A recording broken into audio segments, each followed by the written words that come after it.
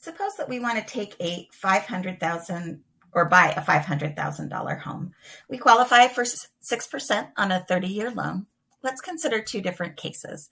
In the first case, suppose that we're able to come up with 20% down on the house. And in our second case, we're going to be putting 5% down on the house. 20% of that $500,000 would mean that we'd have to come up with a $100,000 down payment. That's a lot of money and difficult to accumulate, especially if you haven't, if you're a first time home buyer. Uh, it might be easier for you to only come up with 5% down and then borrow the rest. If that's the case, 5% of 500,000 is only $25,000 for a down payment, which might be a little bit easier to save up than the $100,000 in this case. So what's the difference from the bank's perspective? Well, first of all, for a $500,000 house, if we put 20% down, we're only taking out a loan for $400,000. With the um, 5% down, we're putting $25,000 down. So we're going to end up with a larger loan for $475,000 here. At this point, uh, everything on the right hand side ends up being the same. We're looking at a 6% monthly loan over the course of 30 years. So we're just putting this into the loan formula and looking to calculate the monthly payment. So if we are only taking out a $400,000 loan because we were able to make a bit bigger down payment up front, for this house, we would be paying $2,398.20 for a month. In the case of 5% down, uh, where we are borrowing 475,000, when we evaluate all of this and solve for D, we get $2,847.86 for a monthly payment. But we were able to start out with less money up front. Now, if we're looking at this from the bank's perspective, the bank really likes this customer here the best. Why? Because it's a less risky investment the person has put a bunch of cash down already. So they have some what we call equity in the home. They own some of the value of the home. So they're not really likely to walk away um, in a bankruptcy or something like that without going through some process to try to get some of that money back through the bank. So you don't get what we call defaulting on a loan, where partway through the person's just like, I'm out, I can't afford this, and they walk away from the loan and, and leave the bank with the house to take care of and get rid of. So with this higher investment, it's less of a risk for the for the bank. Also, the bank likes the fact that this is a lower monthly payment, and thus it's going to be easier for someone to fit this into their budget than this number here. For a typical 30 year loan, the bank will accept 20% down to, to fund a traditional loan like this if you can't come up with the full 20%, then the bank will still lend you money, but they're not necessarily as happy about it.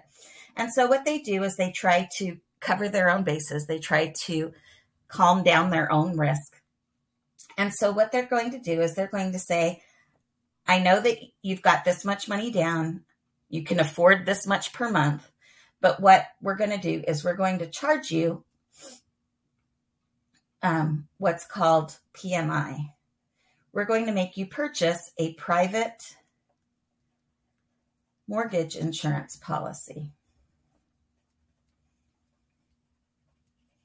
Of course, the bank isn't going to be taking that risk on. They're going to pass that along to you. They're saying basically, if you can guarantee that you can make this payment, um, we're only going to accept that if you have some backup plan to protect the bank.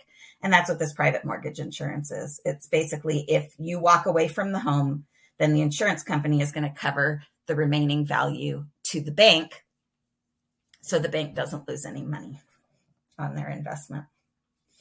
So, how does private mortgage insurance work? Well, in general, private mortgage insurance uh, tends to be, it goes somewhere between like half a percentage and two and a half percentage of the um, value of the loan. Or not the value of the loan, but the value, yeah, value of the loan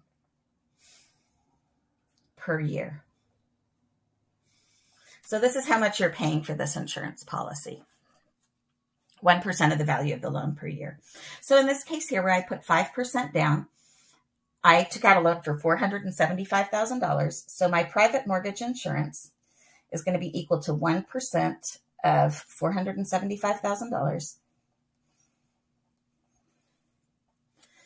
Or we can take that as 0.01 times the 475,000. And what we come up with is every year you're going to have to pay $4,750 towards this private mortgage insurance so the bank is willing to give you the loan in the first place. Now, we when we're dealing with talking about housing prices and things like that, we generally talk about budgeting in terms of months, right? We have this monthly payment. So if this is how much we end up having to pay for that private mortgage insurance per year, we can divide that by 12 to get an idea of how much we would be paying each month towards that insurance policy. So if we do 4,750 and we divide it by 12, what we come up with here is that I'm going to have to pay an extra $395.83 every month to pay for this insurance policy.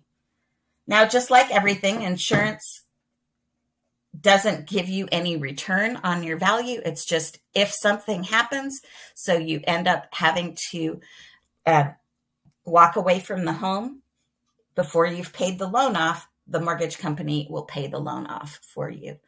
But because of that, you're paying this $395.83 in addition every month.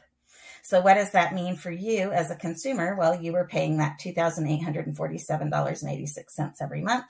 Now we have to pay this additional $395.83 every month. So really what we're talking about is looking at a loan or a, a housing payment rather. If we add those together, we get $3,243.69 each month that's going towards housing. This money is just paying off what that um, what that insurance policy is. It's not going towards the purchase of the home at all. It's not decreasing the amount of the loan at all. It's just basically the price of doing business. Um, over here, this is the monthly payment, which is going to be paying off the interest on your loan and then start paying your loan value down. But then you end up basically with this monthly payment here. So just something to be aware of. If you ever end up needing to take out a loan where you're not able to take 20% down, you should expect to have to take out some type of a private mortgage insurance policy, um, which is going to add on to your monthly expenses and how much you need to come up with in order to stay above water on the loan.